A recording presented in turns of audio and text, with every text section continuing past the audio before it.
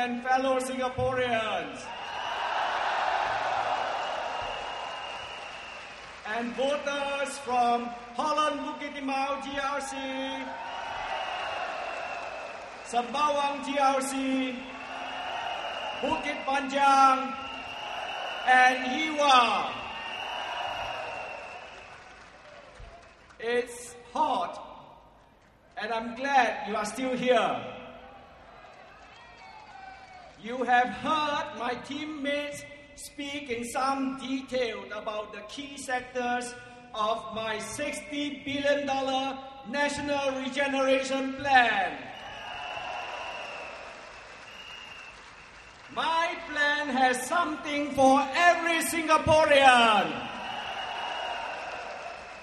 From good jobs, well paying jobs, to new vibrant businesses creative enterprises for the young, the old, and the middle-aged Singaporeans. But the PAP distorted my plan, claiming that it will cause loss of jobs. Nothing is further from the truth.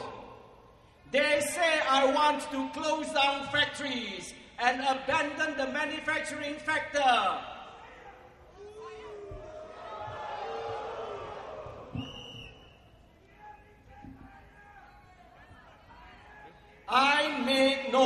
Statement in my paper. I said don't promote manufacturing with new incentives because Singapore is not competitive in manufacturing as we are short of land, labor, and skills. In fact, what I said is a trend that has emerged in the last few decades. Factories have been moving out of Singapore on their own, setting up shop in China, Vietnam, and other places. All over the world, manufacturing has declined as a proportion of national output or GDP. For the world as a whole, manufacturing has fallen from 27% in 1970 to 17% in 2009. In the US, from 25% to 13% in the same 40 year period. Australia from 21% to 9%. Brazil from 25% to 13%. And Japan from 35% to 20%. So the decline of manufacturing is an international phenomenon that has taken place naturally. My plan recognizes this and has allocated $10 billion to help our businessmen in manufacturing to adjust to the economic reality by giving them financial assistance to switch into services or to relocate to neighboring countries such as Malaysia or Indonesia rather than China, faraway places, or Vietnam so that they can be near their families and their friends in Singapore and can also take advantage of the professional services of firms in Singapore in law, accounting, and finance matters. These professional services that a lot of you in the crowd provide. Yet the PAP want to promote and promote and maintain manufacturing at 25%, which is a large chunk of the economy. They are going against the march of economic progress.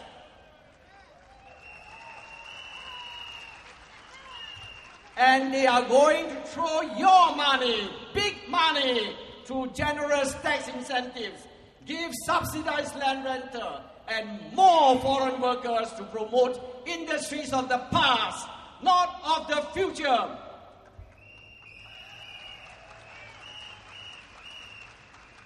They now say I am trying to raid the national reserves with my $60 billion plan. Do you agree with them? Let me tell you how much $60 billion mean to each individual Singaporean. There are 3.23 million Singaporean citizens.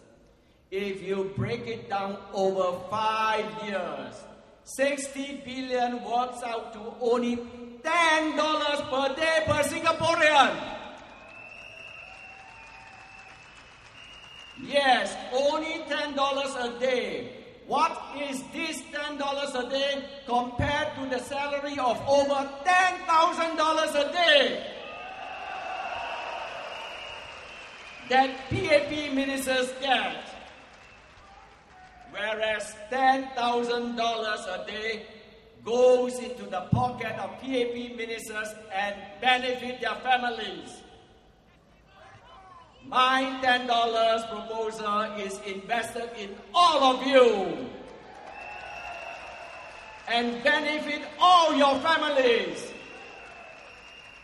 These $10 a day over the next five years will generate jobs and businesses that will in turn earn back more than the $60 billion that my plan proposes. Why is the PAP so much against my economic plan? Yesterday, Shanmugam said my plan is crazy. The reason is simple. It shows how bankrupt of ideas the PAP is to grow the Singapore economy.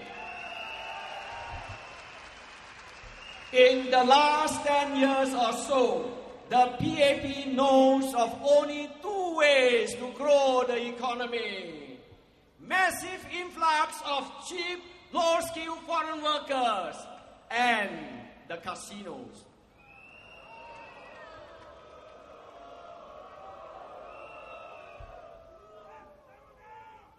The casinos are their last card.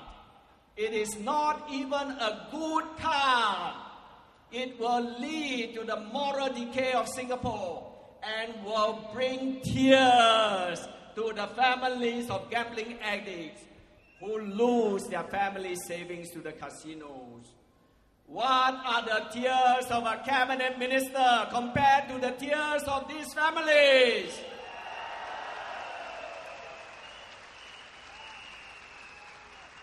These families don't cry in public for the TV camera to seek sympathy. They cry in the privacy of their bedrooms.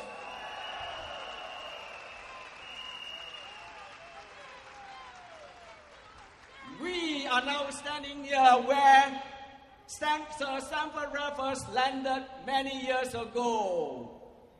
After he came here, he went back to England leaving this place to Farquhar to manage. But Farquhar did one thing. He promoted gambling. When Sir Stamford Raffles came back and discovered gambling dens in Singapore, what he did is to sack Farquhar.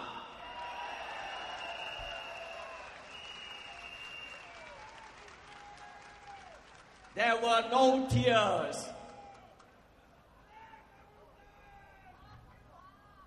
Yes, the casinos will generate jobs, but are they good jobs that make use of your skills and training and education?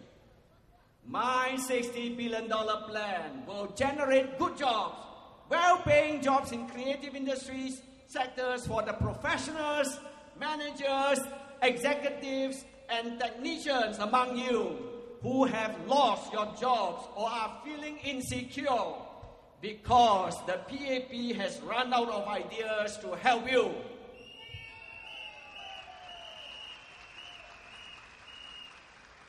PMETs among you, I can sympathize with you.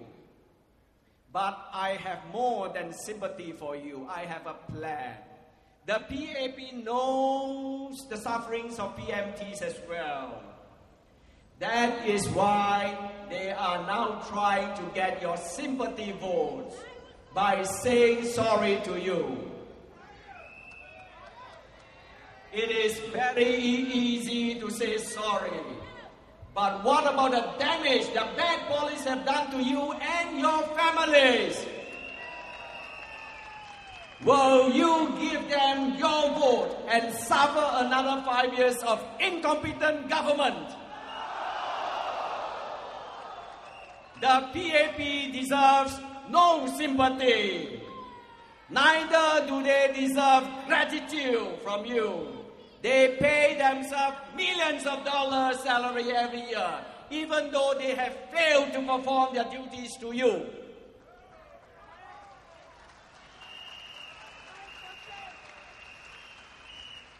You suffer loss of jobs to foreigners, overcrowding in buses, MRT trains, shopping malls, public parks. You do not owe the PAP any more gratitude. You are long past any sense of gratitude because they have become incompetent.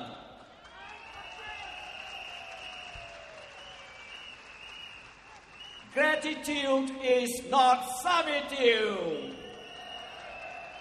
It is not blind loyalty.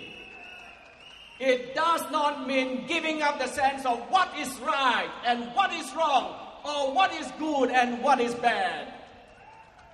You must also not vote for PAP out of fear. Your vote is secret.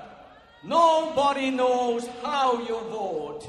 Hundreds of thousands of Singaporeans have voted for the opposition and nothing has happened to them.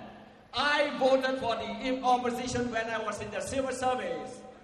I got promoted in good time. Even ahead of many in my cohort. When I worked for banks and fund management houses like you do, I also voted for the opposition. I continued to rise in my career, eventually becoming regional head of Asia Pacific operations.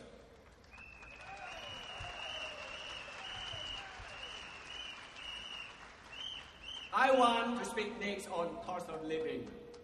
Rising cost of living affects everybody, not just the poor. Even the middle class is squeezed. People like you. The PAP tells you they cannot do much about it because they said it is caused by external factors. Commodities like oil and other imported goods. The truth is, this is only half the story. A study by two university researchers shows that half of the increase in consumer prices is due to domestic factors such as government policies. These policies generate huge surpluses of between $10 billion and over $30 billion a year in the last 10 years.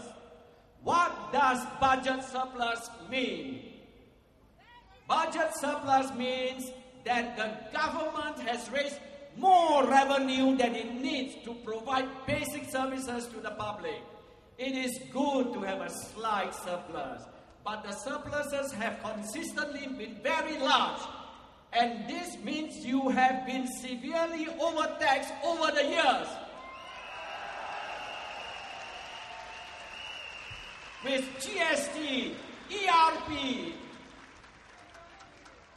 COE, and a lot of things. GST alone gives the government more than $6 billion last year. All this came from you. We can do without the GST and still have a healthy budget surplus. That's why we at the SDP proposes removal of GST of all essential goods and services and reductions of GST to 3% for non-essential staff.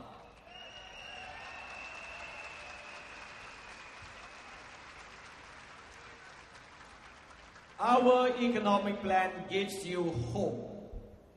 It is a $60 billion plan to regenerate our economy in six areas with $10 billion each, which will create good jobs for Singaporeans and businesses for our small local enterprise, small businessmen. It will give hope for businessmen in manufacturing, who want to switch into services or relocate to neighboring countries. It will give hope for young people in creative industries who dare to dream of becoming the next Facebook, Google, and Baidu.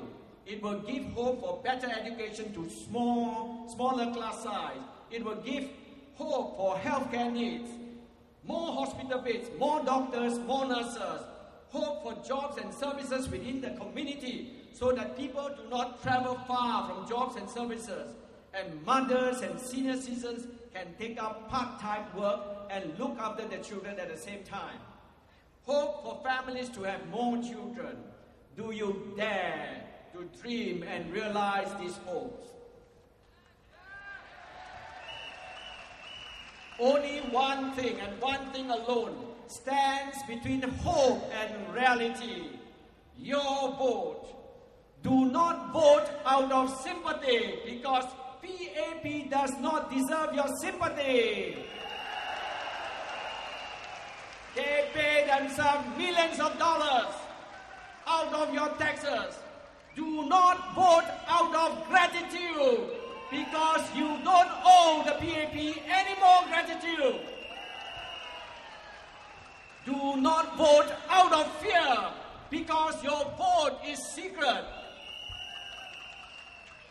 give your vote to the party that has a coherent, comprehensive plan that gives you this hope. Hope for every Singaporean, young, middle aged, and old, and hope for your children. The SDP has a robust plan that gives you this hope. Vote for the SDP!